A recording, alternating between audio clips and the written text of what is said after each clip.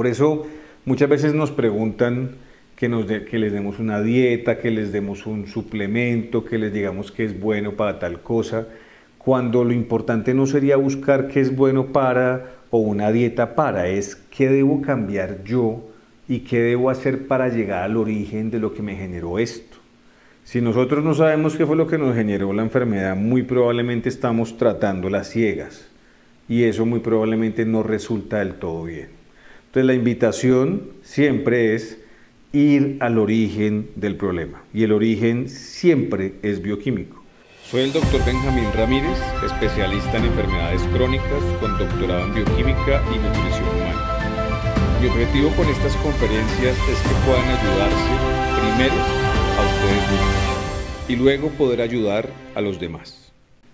Aquí nos dice Ruth, doctor, ayúdeme, tengo enfermedad renal etapa 3, tiroidismo, cardiopatía isquémica, angina, bloqueo de corazón, gastritis, colitis, reflujo, todo lo que como me cae mal y si no como también tengo una dieta 70% vegetariana. Pero mis problemas de salud se incrementan cada día. Fíjense que esta pregunta que nos hace Rudy es muy interesante, precisamente porque es una persona que probablemente pues ya tiene efectivamente unos síndromes que hacen parte de lo que podemos denominar un síndrome metabólico, precisamente porque en ella conviven varias patologías de diferentes órganos y sistemas. Por ejemplo, ya tiene un compromiso renal, en este caso la insuficiencia renal básicamente mide su funcionamiento. Entonces, cuando estamos en etapa 3, estamos hablando de que el 50% de la función renal posiblemente está comprometida. Nos habla de un problema de tiroides, no nos especifica cuál nos habla de una cardiopatía isquémica con una angina y probablemente un bloqueo en alguna rama de su corazón, no nos menciona cuál. Nos habla de una gastritis, una colitis y un reflujo y precisamente manifiesta que todo lo que ella come le cae mal.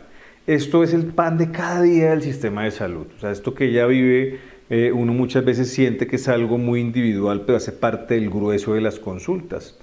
¿Por qué se presenta todo esto? Precisamente porque la persona inicialmente va tratando un síntoma de una condición, pero no hace parte, digamos, del estudio del origen del origen de la enfermedad. Entonces, por ejemplo, cuando esta persona comienza con una enfermedad renal, muy probablemente se le manda algún tipo de medicamento. Pues generalmente se le manda un medicamento, digamos, nefroprotector cuando la persona comienza a tomar ese medicamento nefroprotector, pues tiene algunos efectos secundarios que pueden comprometer la funcionalidad de ese músculo cardíaco, por lo cual probablemente ella desarrolló esa cardiopatía.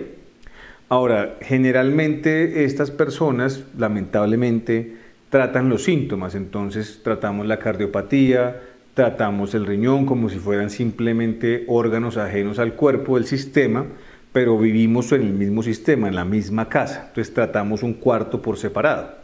Al tratar esos cuartos por separado, los efectos secundarios de los fármacos comienzan a afectar otros órganos aledaños. Entonces, por ejemplo, el uso de algunos medicamentos a largo plazo pueden apagar o pueden inclusive incrementar el riesgo de una tiroides de Hashimoto, de una enfermedad autoinmune que se va hacia la glándula tiroidea.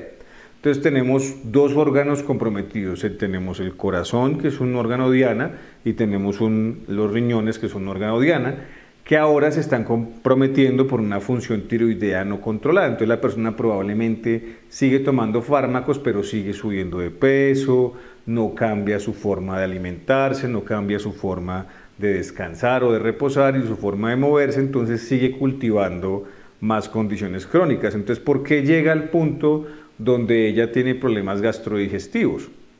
Precisamente porque todos esos fármacos que ella ha tomado para la cardiopatía, para la tiroides, mm, para su enfermedad renal, hacen la necesidad de tomar un medicamento para proteger la zona gástrica de tanta farmacia. Entonces ahí es donde comenzamos a usar los parasoles, las bombas inhibidores de protones, y la persona sigue teniendo efectos secundarios. Entonces se le baja la vitamina B12, se le baja el hierro, y probablemente esta persona lleva 10 años con este tipo de condición y nunca ha sido referenciada a un tratamiento de alimentación molecular o de su nutriólogo clínico. Entonces esta persona generalmente cuando ya llega a una remisión de un servicio, ya llega polimédica, llega con una cantidad de órganos comprometidos y efectivamente lo que intentamos buscar es corregir ese camino, pero no con más fármacos, es yendo al origen. Entonces, ¿cuál puede ser el origen del origen, por ejemplo, de Ruth?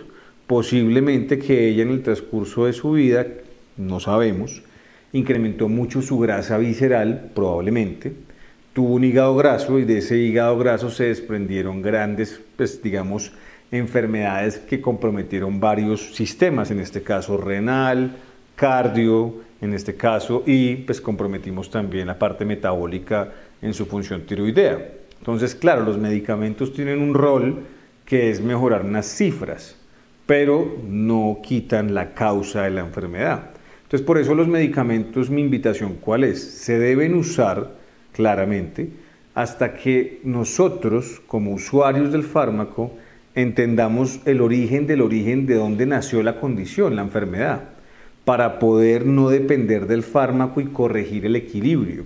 Si nosotros no corregimos el equilibrio, no vamos a poder subsanar todo este tipo de huecos o ausencias que han llevado a que ella tenga este tipo de, compromisos sistémicos, porque ella ya tiene todos sus, digamos, sistemas comprometidos. Por eso nuestras charlas contra las enfermedades siempre recaen en buscar el origen del origen y por lo general son reacciones bioquímicas que llevan mucho tiempo comprometidas que no permiten el equilibrio.